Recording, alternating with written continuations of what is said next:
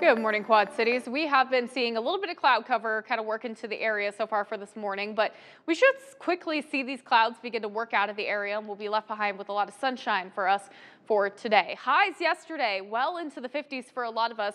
Not going to be the case for today, but we still remain above normal.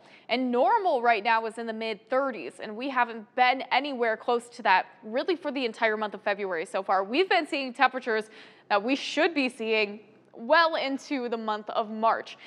But still, we're going to see temperatures in the 40s, which is still pretty decent for this time of year. Highs will be around 44 degrees for us, lots of sunshine. Again, still likely going to see a little bit of breeze out there, but that'll slowly calm down as we head through today and going into tonight.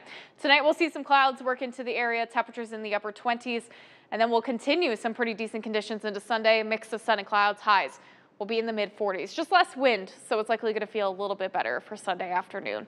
And we stay dry through majority of the upcoming week until we get to Wednesday night. Wednesday night, early Thursday morning, we start to bring in our next chance of precipitation. Right now, it looks like it's going to come in the form of rain showers uh, going into late Wednesday, early Thursday. And by the time we get to Thursday afternoon, it looks like we're going to see drier conditions. So quick system, not really seeing anything too major, at least on the timeline. And we can even see that on the eight day forecast. We could see another opportunity for some precipitation, maybe even working in some light snow showers as we get into Friday of next week. But temperatures are going to start to get a little cooler with it in the mid 30s. For more weather information, you can go on to WQAD.com or download that WQAD News 8 app.